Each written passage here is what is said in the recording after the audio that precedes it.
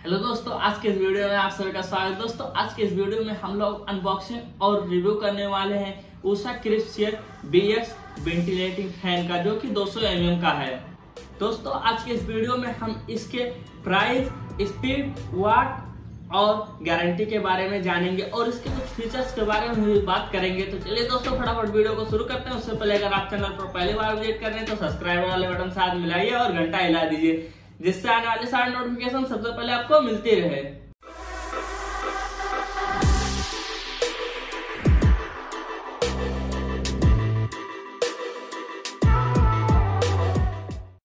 दोस्तों, आप लोगों को बॉक्स देखने में कुछ इस प्रकार से देखने को मिल जाएगा। तो चलिए दोस्तों, अब इसको ओपन करते हैं और आप लोग को प्रोडक्ट दिखाता हूँ।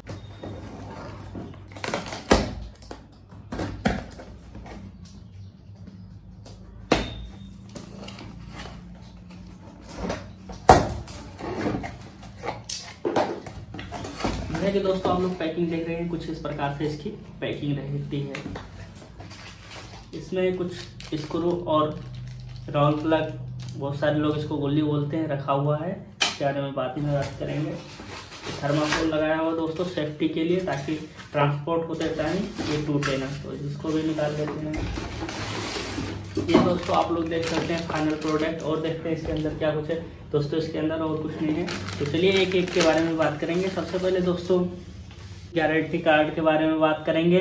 देख सकते हैं ये यूज़र यूज़र मैनुअल और गारंटी कार्ड दोनों का काम करता है। ये गारंटी कार्ड का काम करता है और यहाँ पे यूज़र मैनुअल दिया है। इसके बारे में आप सारी डिटेल में पढ़ेंगे तो बहुत अच्छी नॉलेज आप लोग को मिल जाएगी। जैसे कि दोस्तों आप लोग फाइनल प्रोडक्ट देख रहे हैं, यहाँ पे उषा की ब्रांडिंग भी है और नीचे क्रिप्सियर बी एक्स जो कि इसका मॉडल है, वो लिखा हुआ है। दोस्तों, अगर इसके स्पीड यानी आरपीएम की बात कर ली जाए तो यहाँ पे आप लोग देख सकते हैं दोस्तों, ये तेरह सौ अस्सी आरपीएम पे है। लेकिन दोस्तों, अगर आप लोग क्रिप्स ईयर लेंगे तो उसका आरपीएम इससे कम होगा। दोस्तों, इस प्रोडक्ट के बारे में कुछ और जानकारी आप लोग को देने के बाद में इसको टेस्ट करेंगे कि एक्चुअल में ये काम कैसे करता है। दोस्तों, अगर इसके पावर कंजम्पशन की बात कर ली जाए तो यहाँ पर आप लोग देख सकते हैं ये पैंतीस वाट पे वर्क करता है, जिससे आप लोग इसको इन्वर्टर पे भी काफ़ी अधिक टाइम तक यूज़ कर सकते हैं।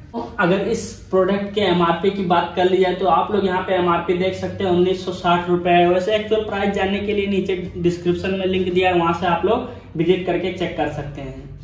जैसा कि दोस्तों, अगर इसके वारंटी की बात कर ली जाए तो ये टू ईयर वारंटी के साथ आप लोग को देखने को मिलेगा, जो कि होम सर्विस होता है। होम सर्विस का नंबर मैं नीचे डिस्क्रिप्शन में डाल दूँगा। दोस्तों, इसके कुछ और फीचर्स बताने से पहले मैं आप लोग को इसको टेस्ट करके दिखाता हूँ कि ये एक्चुअल में वर्क कैसे करता है। और दोस्तों, अगर आप लोग अंत तक बने रहेंगे तो इसके बारे में एक टिप्स भी दूँगा, जिससे आप इसको और अच्छे से यूज़ कर सकते हैं। जैसे कि दोस्तों, आप लोग देख रहे हैं, हमने इसको प्लग इन कर दिया है, और हमने अपने हाथों में कुछ कागज़ रखे हैं, दोस्तों, और हमको, हम इसको इस तरफ़ से डालते हैं और देखते हैं उस तरफ़ निकलता है कि नहीं। दोस्तों, ऐसा कुछ आप लोग अपने घर पर ट्राई करने की कोशिश मत कीजिए। जैसे कि दोस्तों, आप लोग देख रहे हैं ये कागज़ उस तरफ़ बहुत आसानी से जा रहा है। जैसे कि दोस्तों मैंने आप लोग को दिखाया कि कितने आसानी से उस तरफ़ की हवा इस तरफ़ पास हो रही है। दोस्तों, इसका एक ये भी फीचर है कि ये बहुत ही साइलेंट है। जैसा कि दोस्तों, आप लोग को इसकी आवाज़ नहीं सुनाई देगी। दोस्तों, आप लोग इसका ये फोल्ड देख रहे हैं। जब इसको आप बंद करेंगे तो ये बंद हो जाता है। जैसा कि दोस्तों, आप लोग देख रहे हैं आसानी से बंद हो जाता है, जिससे जो बाहर के धूल डस्ट होते हैं, वो अंदर की तरफ़ नहीं जाते हैं।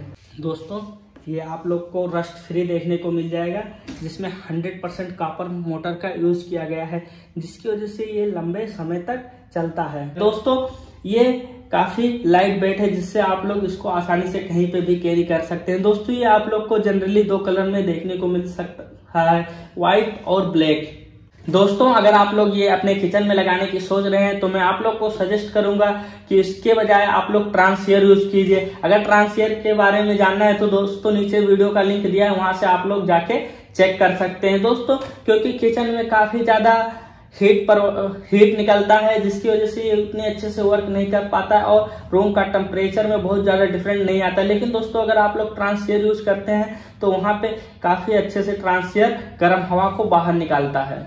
दोस्तों, इस वेंटिलेटिंग फ़ैन को लगाते समय अगर कुछ बातों का ध्यान रखा जाए तो इसकी एफिशिएंसी काफ़ी अधिक बढ़ जाती है। दोस्तों, जहाँ पे आप इसको लगाएँ, उसके बगैर अगर आप छोटा सा विंडो कर देते हैं तो इससे काफ़ी ज़्यादा इसकी एफिशिएंसी बढ़ जाती है। दोस्तों, मैं आप लोग को बता दूँ वो कैसे होता है। जब इससे गर्म हवाएँ बाहर जाती है और बाहर की तरफ़ से ठंडी हवाएँ अंदर रूम में आने का मौका नहीं मिलता तो इससे रूम के टेम्परेचर में बहुत ज़्यादा डिफरेंट नहीं होती है। लेकिन दोस्तों, अगर इससे गर्म हवाएँ बाहर जाएँगी और बगल के जो साइड में विंडो आपने दी है, उससे ठंडी हवाएँ अंदर रूम में आएँगी तो इससे रोटेशन चलता रहेगा। तो आपके रूम में दोस्तों टेम्परेचर में काफ़ी गिरावट देखने को मिल जाएगी।